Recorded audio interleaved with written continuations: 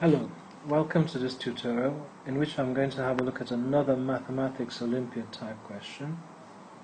In this particular one it says in the diagram, which is a 3 by 3 square, that's this one here,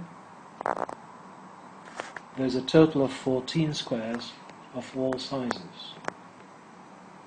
And they're asking us what the total number of squares of all sizes on the 6 by 6 square board shown below. And we're given five answers to choose from. Now you can sit there and try and work them all out from the 6 by 6 board in front of you and it's not an easy process. And this sort of question is meant to take about two minutes. Okay, so what does one do? We need to predict from a 3 by 3 to a 6 by 6.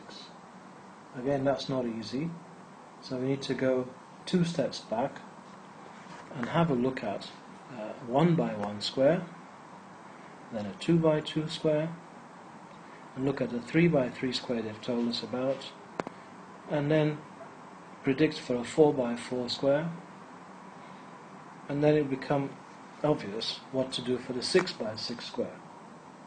So, I have drawn a 1 by 1 square in red and it's obvious that for a 1 by 1 square there's only one possibility. And in green I've drawn a 2 by 2 square so for the 2 by 2 we can see there's one large square plus four small ones so it's a total of 5. And we've been told that for the 3 by 3 For the 3 by 3, there are 14. Well, there's one large square, we know that. And how many small ones are there? It's obvious, it's 9. The 2 by 2 squares, I've drawn them and shaded them in for you in blue. There are only 4 possibilities. So the total is in fact 14, as they told us. So what we're going to try and do now is summarize this. So, for the one by one, there was only one. For the two by two, there was one plus four, which is 5. For the 3 by 3, it was 1 plus 4 plus 9, which was 14. So what would we what would it be for the 4 by 4? Well, we need to recognize these numbers that are showing up. Remember what they're called? They're called, they're called square numbers. 1 times 1, 2 times 2, 3 times 3. So what would it be then for the 4 by 4? We would expect it to be 1 plus 4 plus 9 plus 16.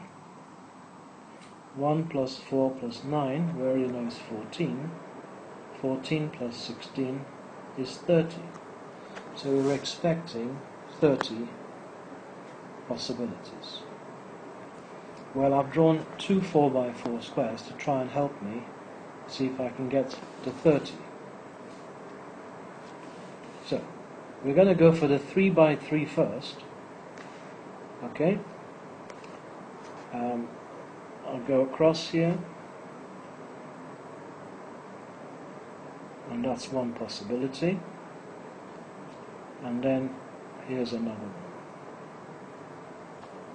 If we go a level down we go across and down that's one.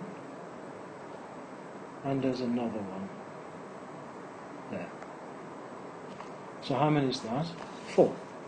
So there was one large one and four three by three and 16 small ones. We now need to see if there are 9 2 by 2. Here we go. That's the first one. That's another one. There's one in the middle. That's 3 on that level. If we go one level down, that's 1, that's 2, and that's 3. And if we come down one more level, we have 1, 2, and 3. So 3 on each level would give us 9. So it works. Now, can you predict for the 6 by 6? Of course, you can do the 5 by 5 one if you want.